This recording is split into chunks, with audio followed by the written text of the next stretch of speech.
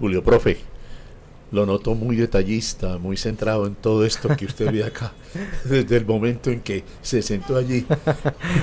No, lo que pasa es que usted tiene un muy buen montaje de producción y personas que le están apoyando. Pienso es en como me toca a mí, que yo lo hago solo.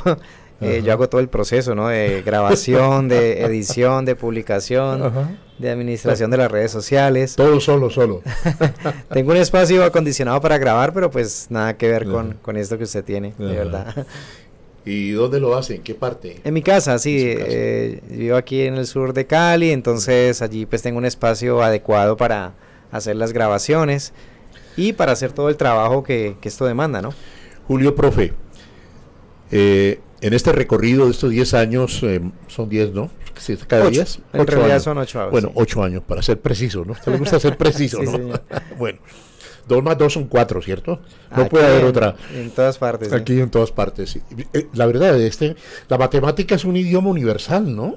Es decir, si estamos hablando para la China, para Indonesia, para los tigres asiáticos, ¿no? Allá dos más dos.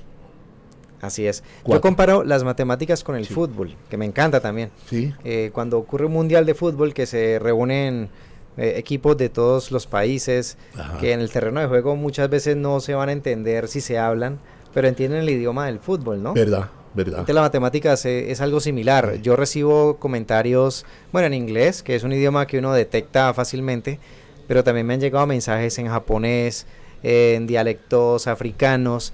Es increíble, de personas sí, que de pronto están viendo esta información y aunque no me entiendan lo que yo hablo, me entienden lo que yo escribo. Sí, porque claro, los números. Los números, los símbolos, eh, digamos, son comunes a, muchos países, bueno, a, excepción de aquellos donde la grafía cambia, ¿no? Como los países árabes o, en China o Corea, bueno. Japón. Exacto, pero de resto es increíble ver cómo uno logra comunicar ese mensaje, eh, a pesar de que de pronto no entiendan lo que uno comunica oralmente. Hablamos de sus nuevos, de, de, perdón, hablamos de sus modales de su educación en ese sentido. Ahora le pregunto, Julio Profe, eh, ¿de dónde nace lo de las matemáticas? ¿El por qué esa predisposición a las matemáticas? Me imagino que usted en el colegio pasó nítido. En sí, la me muy bien en la Corder. Sí.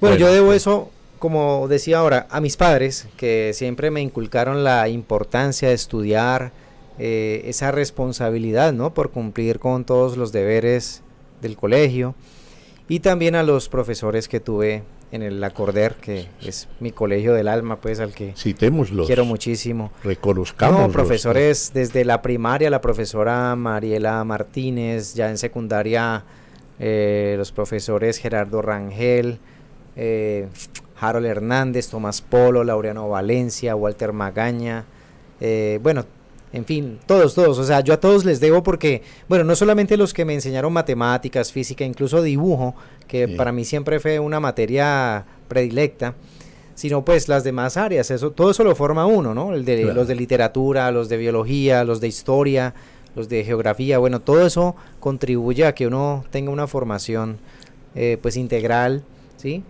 Y fortalezca pues una cantidad de, de aspectos, ¿no? Que después van a ser necesarios para desenvolverse en la vida, ¿sí? ya pues como profesional. Entonces, no, sin duda, e, eso fue clave, que yo hiciera clic con las matemáticas, con la física, fue gracias a mis profesores, a que, bueno, fueron muy exigentes, pero también me enseñaron de una manera, pues muy clara, muy, eh, muy agradable para mí, entonces creo que eso fue, fue crucial para que yo me encariñara con estas disciplinas y para que empezara a enseñarla, ¿no? O sea, yo, yo recuerdo que mis primeros alumnos fueron mis compañeros de clase, con quienes yo me reunía a estudiar los fines de semana, hacer las tareas, eh, los ejercicios que nos dejaban, a preparar los exámenes. Y allí yo empecé a dar clases ya a los 17 años, cuando estaba cursando grado undécimo. Ahí empiezo a dar mis primeras clases ya pues a domicilio. Esto motivado por una tía que fue la que me dijo, hola, vos sos bueno para esto, ¿por qué no das clases eh, a, estudiantes de secundaria? Y pues sí, yo, yo recuerdo que hice un avisito, se dictan clases a domicilio. de matemáticas. Y lo pusimos en, en las porterías de, de, la unidad residencial donde vivíamos. Y allí empecé como con, esa carrera docente, sí, porque yo después entro a la Universidad del Valle a estudiar ingeniería civil, pero paralelamente yo seguí dando clases, sí, entonces ya me fui como, como encariñando con esa actividad, con esa labor y, y, fíjese que yo finalmente, bueno, me gradué como ingeniero, ejercí muy poco la profesión y definitivamente me enruté en la docencia. Entonces, creo que viene la vocación allí en las venas. Profe, está con nosotros hoy, es un orgullo, un placer tenerlo en esta charla, en estos contenidos de Corazón Pacífico Desarrollo Humano y AIR, Alianza Internacional de Radio.